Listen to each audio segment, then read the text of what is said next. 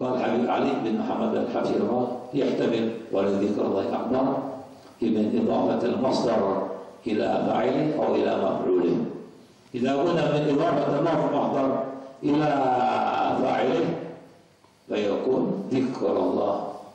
إذا كان إضافة المصدر إلى مفعوله معنى آه ذكر الله العبد ذكر الله العبد أخبر الله تعالى العبد عندما يذكر الله تعالى أخبر ذكر الله تعالى أخبر أخبر بما جئت الطاعات.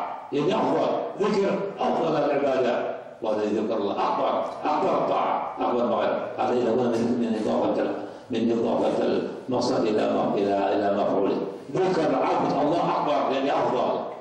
كما قال الإمام الحداد ونذكر إلهك ذكرا لا تفارقه فإنما الذكر كالسلطان في القربه ويكون يكون من إضافة المصدر إلى فاعله ذكر الله العبد أفضل من ذكر عبد الله من ذكر في الناس ذكرته لمن خير ذكرته من ذكر الله العبد أفضل وأعظم من ذكر عبد الله أي معنى ذكر الله عبد ذكر الله العبد يعني يذكر بالمغفرة وبالإحسان وبالرضوان هذا معنى من ذكر في نفسه ذكر في نفسه ذكر نفسه ذكر في ما لا غيره والإمام محمد رعان رعان في القصيدة الثانية والذكر لازمه واضمه على كل الزمان وعلى حضور العجمي العجمي فهو الغنى لكل عبد مهتد وهو الدواء لكل عبد موجعين وصول العبد إلى الله تعالى بشيء.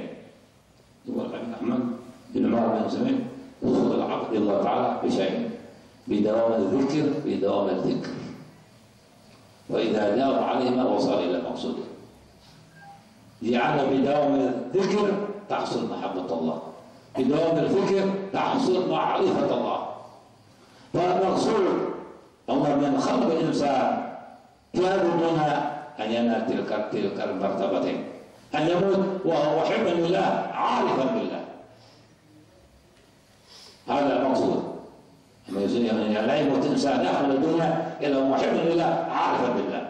وإلى هذا أشار بقوله تعالى أن العبد الله بدون الذكر والفكر الذكر نور السريره والذكر كحل البصيرة.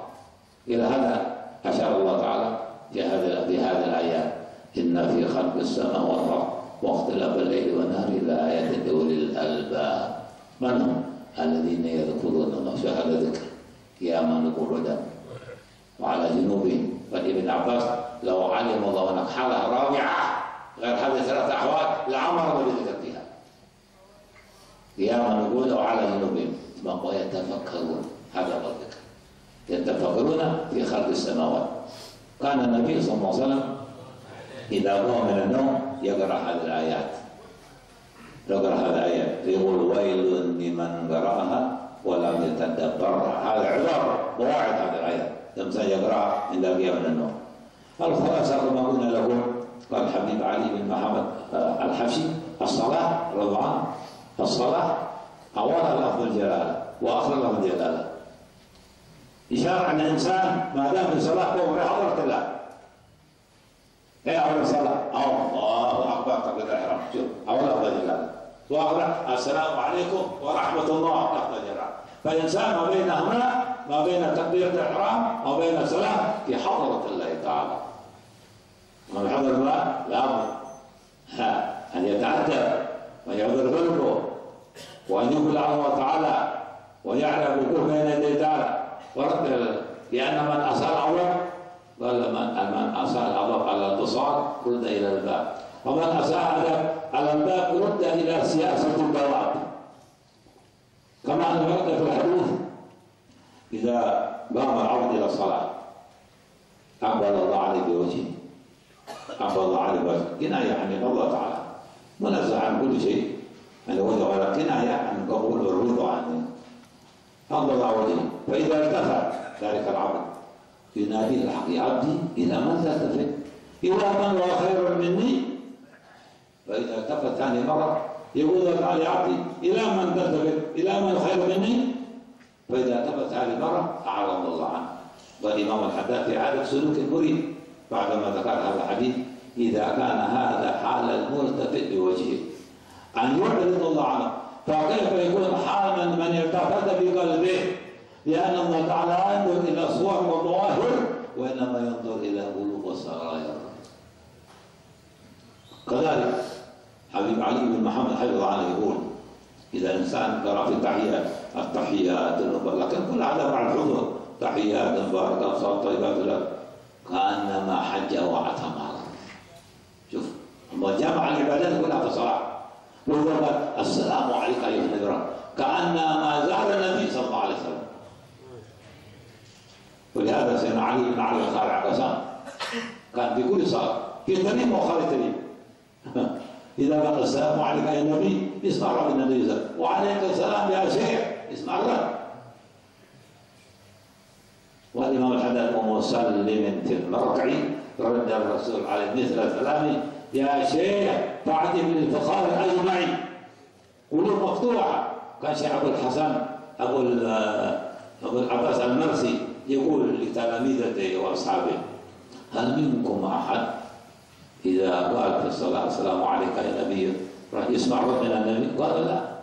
قال أوك على قول محجوب عن الله ومحجوب عن رسول الله. ثم يحلف يمين. والله لو غاب عني محمد طرفة عين ما عدت نفسي من المسلمين. لكن على العلويين ما شيء ماشي مع غيره عمر بن عبد العطار صاحب الراتب. وأبي حسين بن العطار من وصار يجيب بموضعي لما سمع هذه المقال ابي العباس المرسي يغيب عني وهو عين وجودي؟ ده يقول هو غاب عن محمد. ويقول كيف يغيب عني وهو عين وجودي؟ معنى النبي ما غاب عنه. هكذا عنه. شهد الانسان قال السلام عليك يا النبي كأنما زار النبي صلى الله عليه وسلم. ويقول السلام عليك. السلام علينا وعلى عباد الصالح كانه زار عباد الصالحين في مشارق والمغارب كل هذا بصلاة. يا الله تعالى بصلاة. ولا بحب أن تطول عليكم في هذا البلد كفايه نسأل الله تعالى أن لا يحرمنا خير ما عنده يسرنا عندنا وأن يتوب علينا. يوم توبه نصوحا وزكنا بجسما وغرقا بروحا يعافنا من الولاية تبنا برضايا زدنا شكرا نعمائي ويهورنا لنا نقوم من اوليائي ونصرنا على أعدائي واجعل خير أيامنا وأسعد أيام لقائي والعفو منك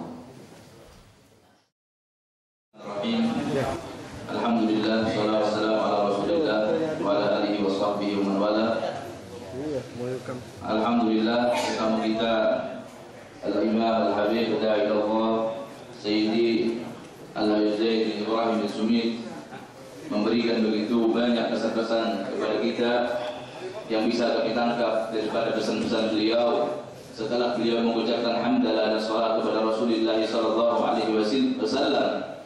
menyinggung bahwasannya apa yang kita lakukan pada waktu yang mulia ini adalah bentuk daripada barakah dan rahmat Allah Subhanahu wa taala.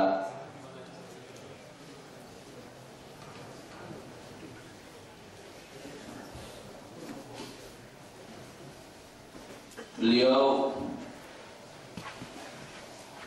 memulai pesannya bahwasannya setiap manusia beribadah kepada Allah Subhanahu wa taala intinya adalah mencari keridhaan Allah Subhanahu wa taala.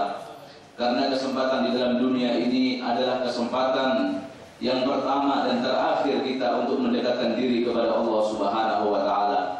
Adapun amalan yang paling mulia di sisi Allah Subhanahu wa taala adalah kita mengerjakan ibadah kepada Allah Subhanahu wa taala yang paling tinggi adalah mengerjakan sholat lima waktu di waktunya.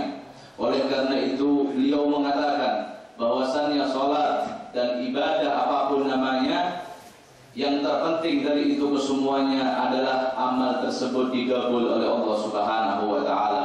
Oleh karena itu Al Habib Umar Al Mihdar radhiyallahu anhu pernah mengatakan bahwasannya seandainya aku tahu bahwasannya satu tasbih saja, satu zikir saja diterima oleh Allah Subhanahu mengundang seluruh ahli tarim untuk makan bersama di rumahku sebagai ucapan rasa syukurku kepada Allah Subhanahu wa taala tentang satu amalan yang diterima oleh Allah Subhanahu wa taala. Apalagi amalan yang kita laksanakan pada kesempatan yang berbahagia ini adalah amal yang luar biasa mengerjakan sholat subuh berjamaah adalah suatu amalan yang betul-betul dicintai oleh Allah Subhanahu wa taala. Oleh karena itu Rasulullah sallallahu alaihi wasallam dalam hadisnya mengatakan, barang siapa yang menghadap kepada Allah Subhanahu wa taala, maka Allah Subhanahu wa taala akan menghadap kepadanya juga. Dalam artian dia menghadap kepada Allah dengan seluruh jiwa raganya, dengan penuh kesungguhan, dengan penuh kekhusyuan, maka Allah Subhanahu wa taala akan menghadap kepada hamba tersebut dengan ijabah, dengan rahmah, dengan barakah di dalam kehidupannya sehari-hari. Oleh karena itu, solat yang kita laksanakan bersama pada pagi hari ini adalah solat subuh. Oleh karena itu, solat subuh adalah solat yang begitu dicintai oleh Allah Subhanahu wa taala sehingga Allah Subhanahu wa taala menyinggungnya di dalam Al-Qur'an sebagaimana firman Allah Subhanahu wa taala wa Qur'an al-fajr inna Qur'an al-fajr kana mashhuda oleh karena itu Allah Subhanahu wa taala mengatakan bahwa membaca Al-Qur'an pada waktu fajar adalah disaksikan oleh Allah Subhanahu wa taala Rasulullah sallallahu alaihi wasallam tidak pernah memperpanjang salat di dalam pembacaan kecuali sholat subuh lebih banyak daripada sholat-sholat yang lainnya. Oleh karena itu dijelaskan oleh ulama bahwasanya Rasulullah Shallallahu Alaihi Wasallam banyak memilih tiwalul surah, surat-surat yang panjang yang beliau baca tatkala mengerjakan sholat subuh daripada daripada surat-surat yang pendek. Oleh karena itu ulama menjelaskan bahwasannya surat-surat yang panjang yang dimaksudkan di dalam pembacaan Rasulullah Shallallahu Alaihi Wasallam ini berbeda pendapat ulama. Ada yang mengatakan bahwasanya surat-surat panjang itu dimulai daripada daripada surat Al-Fatah sampai surat Amma Yatasaalun. Itu surat-surat yang sering kali dibaca oleh Rasulullah Shallallahu Alaihi Wasallam di dalam surat subuh. Kemudian ada surat-surat pendek, maksudnya adalah surat-surat daripada surat Amma Yatasaalun sampai surat Wadduha. Ini adalah surat-surat yang pendek. Oleh karena itu Rasulullah Wasallam menegaskan di dalam banyak bahwasannya sholat subuh ini jika dikerjakan dengan benar maka seperti kita meraih pahala haji dan umroh yang sempurna. Oleh karena itu dikatakan di dalam ayat karena masyhuda sholat dalam sholat subuh membaca Al-Quran di dalam uh, waktu subuh disaksikan maknanya disaksikan oleh sekalian para malaikat malam dan sekalian malaikat uh, siang. Oleh karena dalam hadis malaikat malam artinya mereka berbondong-bondong menyaksikan yang subuh dan malaikat siang adalah malaikat yang berbondong-bondong menyaksikan sholat asar. Oleh karena itu banyak daripada ulama mengatakan bahwasannya persaksian para malaikat itu di dalam hadis dijelaskan bahwasannya tatkala malaikat itu datang kepada seorang manusia atau kelompok yang sholat berjamaah dia menghadap kepada Allah Subhanahu wa taala seraya dikatakan oleh Allah Subhanahu wa taala apa yang kau saksikan di muka bumi mereka mengatakan kami saksikan sekelompok hambamu bersolat di waktu salat subuh. Begitu juga di waktu asar tatkala mereka datang kepada Allah Subhanahu wa taala membawa ibadah kita tersebut maka Allah bertanya kepada mereka bagaimana engkau tinggalkan hambaku?